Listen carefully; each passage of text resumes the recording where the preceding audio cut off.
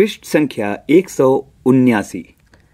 बटोर पृथ्वी की पूरी ऊर्जा उठेगा धीरे धीरे ज़मीन से ज़मीन पर गिरा आदमी और अपने लड़खड़ाते कदमों से नापते दूरियाँ पहुँच जाएगा वहाँ जहाँ उस जैसे तमाम आदमियों पर बहस चल रही होगी। नगाड़े की तरह बजते हैं शब्द। निर्मला पुतुल। जन्म सन 1972 दुमका झारखंड। प्रमुख रचनाएँ? नगाड़े की तरह बजते शब्द अपने घर की तलाश में। निर्मला पुतुल का जन्म एक आदिवासी परिवार में हुआ। इनका आरंभिक जीवन बहुत संघर्षमय रहा। घर में शिक्षा का माहौल होने पिता और चाचा शिक्षक थे। के बावजूद रोटी की समस्या से जूझने के कारण नियमित अध्ययन बाधित होता रहा।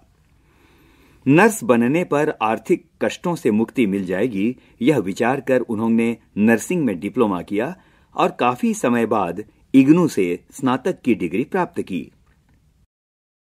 संथाली समाज और उसके रागबोध से गहरा जुड़ाव पहले से था। नर्सिंग की शिक्षा के समय बाहर की दुनिया से भी परिचय हुआ।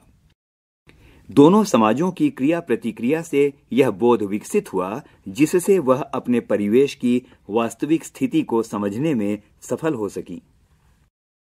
उन्होंने आदिवासी समाज की विसंगतियों को तल्लीनता से उकेरा है।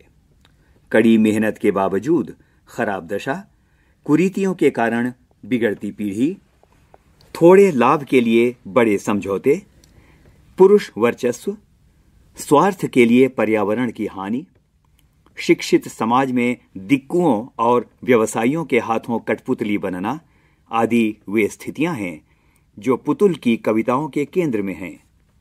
पृष्ठ संख्या 180 वे आदिवासी जीवन के कुछ अनछुए पहलुओं से कलात्मकता के साथ हमारा परिचय कराती हैं और संथाली समाज के सकारात्मक और नकारात्मक दोनों पहलुओं को बेबाकी से सामने रखती हैं। संथाली समाज में जहाँ एक ओर सादगी भोलापन प्रकृति से जुड़ाव और कठोर परिश्रम करने की क्षमता जैसे सकारात्मक तत्व हैं वहीं दूसरी ओर उसमें अशिक्षा कुरीतियाँ और शराब की ओर बढ़ता झुकाव भी है। आओ मिलकर बचाएँ। इस कविता में दोनों पक्षों का यथार्थ चित्रण हुआ है। बृहत्तर संदर्भ में यह कविता समाज में उन चीज़ों को बचाने की बात करती है, जिनका होना स्वस्थ सामाजिक प्राकृतिक परिवेश के लिए ज़रूरी है।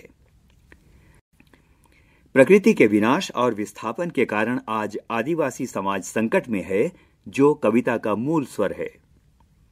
संथाली भाषा से हिंदी रूपांतर अशोक सिंह ने किया है।